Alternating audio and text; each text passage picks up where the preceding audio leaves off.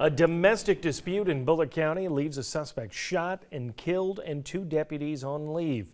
It happened Saturday night on Bird Road just outside of Statesboro.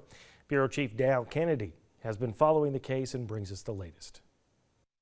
As the GBI investigation into this shooting continues, longtime friends of the family say they wish this ongoing problem could have ended differently. The home at Lot 9 struck a quiet contrast to the scene Saturday night.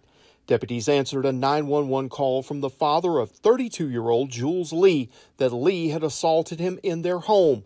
The deputies say Lee fought with them when they tried to arrest him and tried to tase him. They tell investigators Lee pulled a gun and shot at them. They fired back, striking and killing him. Sheriff's investigators say the home and the family were no strangers to law enforcement.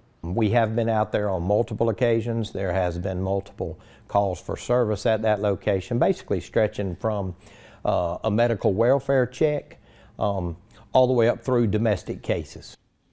Family friend George Wilson says he'd known Lee for 20 years. He described him as troubled and believes he needed mental health treatment he did not receive. He wonders if professional help could have prevented a tragic situation. I know the officers had had to, had to do their job. They had to protect themselves, but I still feel something something more could have been done. Neither deputy were injured in the shooting. Lee's father was treated by EMS for minor injuries.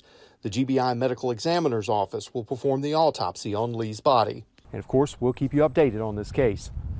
In Bulloch County, Dal Cannady, WTOC News. Ahead on